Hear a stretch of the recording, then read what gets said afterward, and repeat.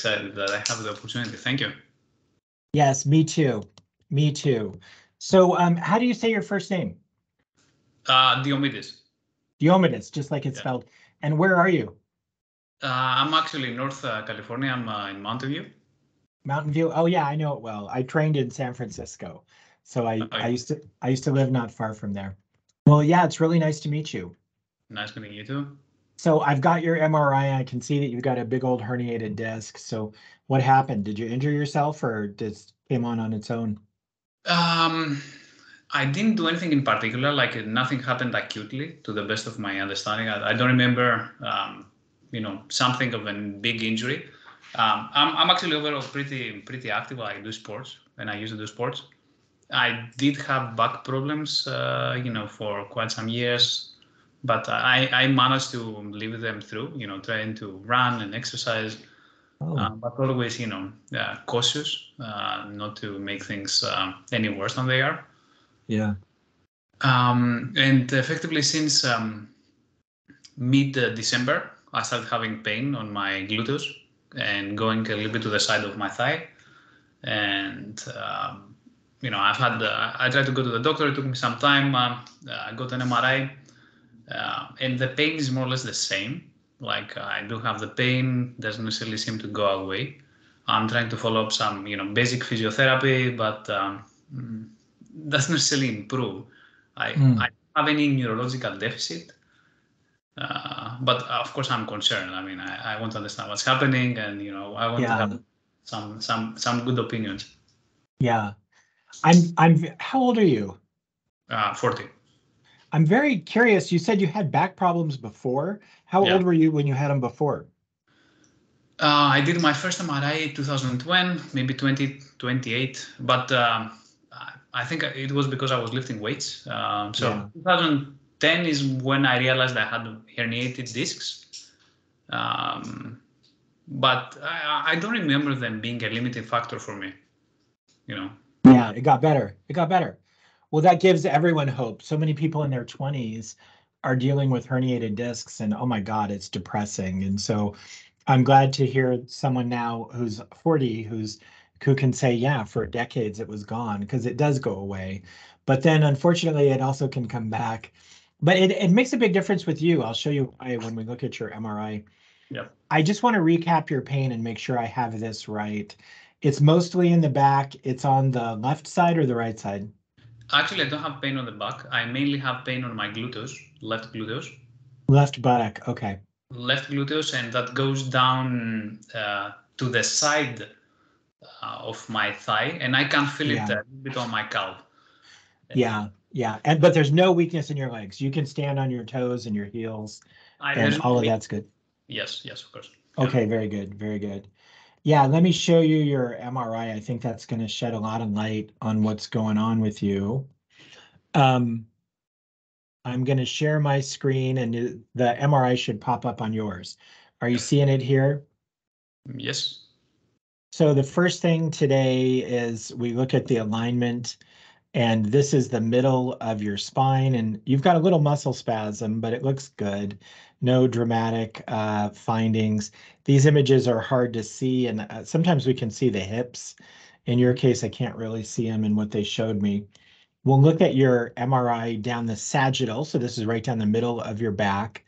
And the things that we notice, if you start here, this is up toward your head and this is down toward your bum. And then let's take a look at the vertebrae. These are the bones of the back here. And these are the discs, the pancakes between the bones. And a normal disc stops at the end of the bone.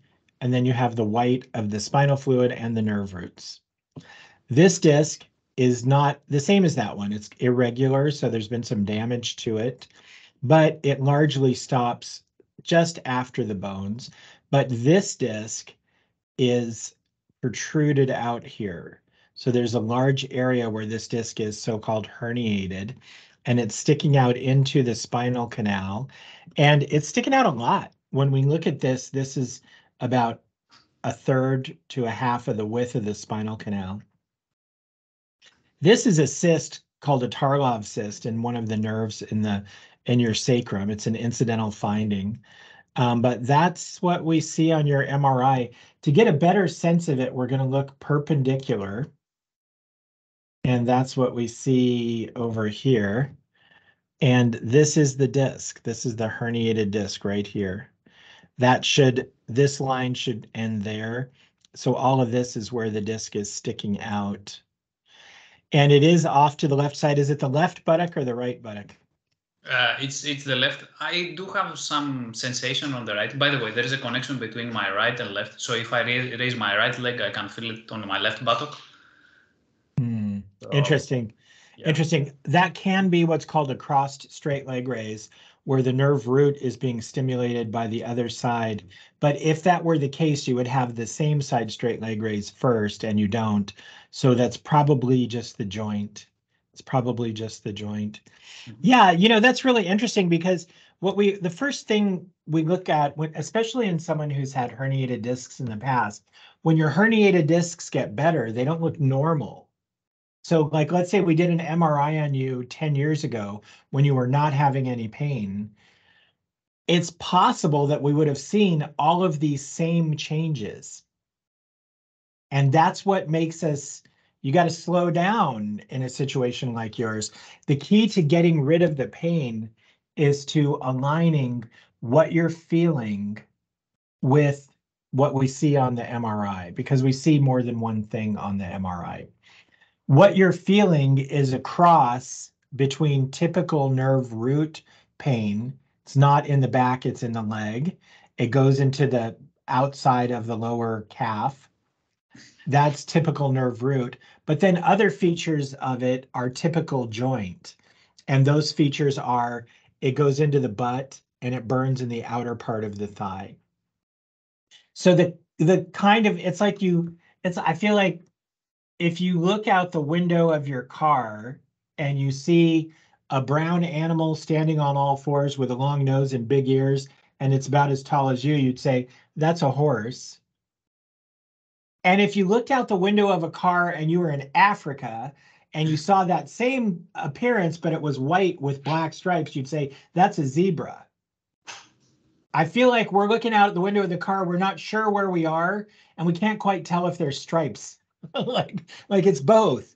You know, you're kind of like you're kind of in between. And when you get in, and it makes a, an enormous difference because the treatment for a herniated disc with sciatica at this stage is epidural injection. The treatment for a, um, a facet arthropathy causing mechanical back pain is medial branch block and radiofrequency ablation.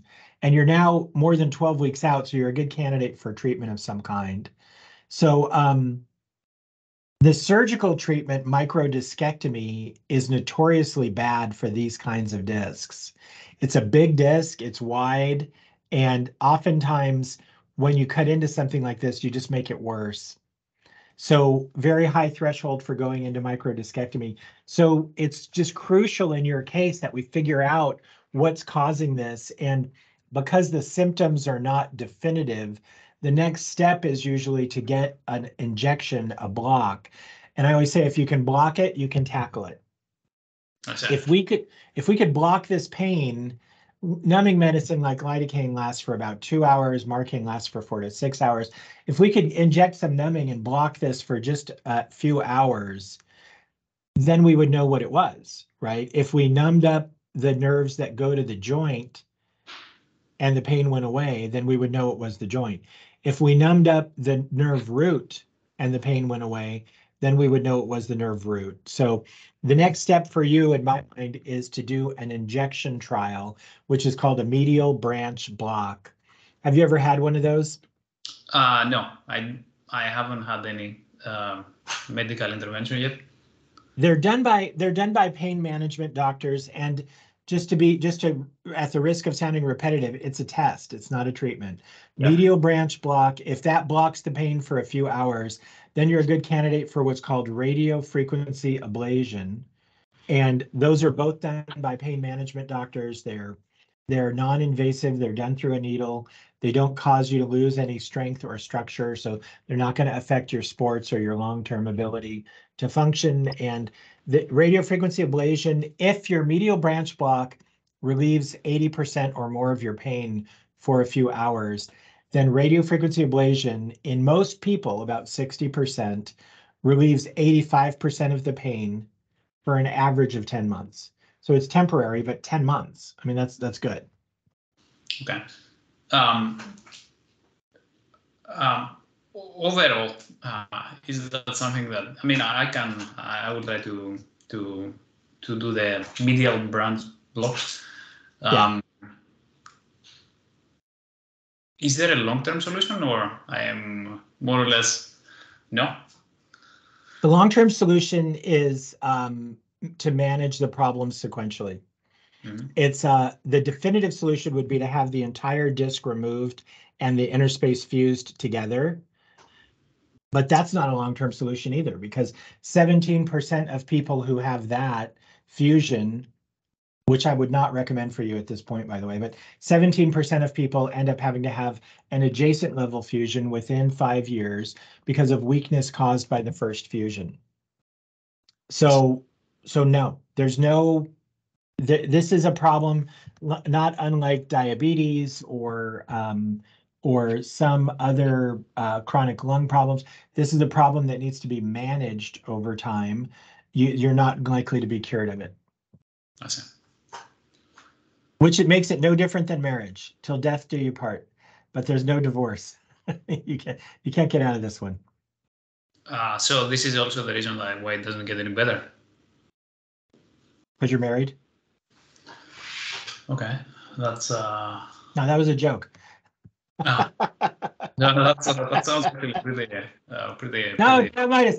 No, John, no. Uh, so the reason it's not getting better is um, because you haven't had any treatment for it, right? That you haven't done anything to make it get better. So if your body could have healed it, it probably would have by now, mm-hmm. but it couldn't quite do it. So you need a little help. So it's a good time to look to get treatment. You're you're right at the point where you need a doctor. You need a doctor to help you. Um, okay, so but you said first uh, first is a diagnostic test and medial uh, blockades, and then just to confirm what joints you said, is it the facet joints that uh, yes, yes, F A F A C E T facet joint, and um, there's a whole playlist on my YouTube channel about um, uh, low back pain due to arthritis. Mm-hmm. Yours is you're you're a young guy and you're an athlete, so this probably happened as a result of a repetitive sports injury would be, but who we'll never know. You know, there's no way to know for sure, but that's probably the case. And so, um, but it's still the same category. It's low back pain due to facet joint injury, arthritis, spondylosis, whatever you want to call it. But there's a whole there's a whole playlist on videos that can can give you a lot of information. But the bottom line is it's medial branch block followed by radiofrequency ablation. That's the standard treatment. It's done by a pain management doctor. You want to find one that is um, that is a good fit for you. And you, so you want to find, they've got to have two features. They've got to be board certified in either anesthesiology or physical medicine and rehab. I find that the athletes sometimes get along better with the physical medicine and rehab docs. Sometimes those doc, there's a lot of those PM and R, physical medicine and rehab, PM and R. There's a lot of those PM and R docs that kind of came out of sports science and they're they're super cool people and they'll get you and what's going on with you. So if you can find one of those to do your medial branch block, that would be a good a good fit for you. Awesome. Okay. Lovely. Well, hard news to, to bear. well, I want to remind you though, you've probably had this a long time and you did well for a long time when you didn't know about it. Yeah. So don't let knowing about it keep you from doing well again. You know what I'm saying? I think there's a really good chance if I would have done an MRI on you 10 years ago, when you were 10 years away from having any symptoms, that it would have shown exactly what we see today. So you're not, this isn't cancer. This is something that you need to manage that you've got, but you've had it a long time, even though you didn't know about it. It's you, it's part of you. You can manage it. You got this. You can handle this. You just need to take care of it and move on. Got it. Got it. Uh, maybe one one comment. Um, I had another MRI in 2017, and actually it wasn't there.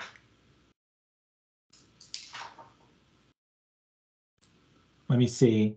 Uh, I don't have that MRI. No, no, I have I haven't said this one, but it I, I don't think I um, it was there as a um I had the hernia, but it was not so big. I mean, it was Yeah, well, I, but Yeah. how do you know? You know, the, sometimes the way they describe them, it could be that, that it wasn't probably the same radiologist. Did they do a direct comparison? no, no, no has done that. Well, you know, you're entitled to that. So if you take your, if you go to, go to the place that had your, that did your MRI and say, hey, I had an MRI in this year, I would like the radiologist to do a direct comparison on the size of the disc herniation. It's their responsibility to get that old scan and measure it and really tell you. The reason I say that is oftentimes the language that people use, that the radiologists use, is not the same, but the finding is the same. I understand. So you, you, two people describe something the same way, de- describe it the same thing differently. And so, eh, or if you want, find the old MRI and come back on my show. I'll be happy to go over it with you, and we can we can put them both up and see if it really is changed or not. But um, I I don't think it matters that much. I I, I even let's say I knew that it was the same. I, my recommendation to you would be the same. Let's say I knew that it was bigger my recommendation would still be the same. And so, you know, it's your cross to bear. I understand. Lovely. Thank you very much, doctor. Welcome to the rest of your life. Our bodies don't get better with age. They get more challenging. You can do this. You got this, big guy. You got this. You've been through this before. You're stronger than most. You're lean, you're strong. You got this. You're going to you're going to be okay. Thank you very much. All right. Let me let me know how it goes, okay? I will do so. Have a good day. Yes, you too. Cheers. Bye now.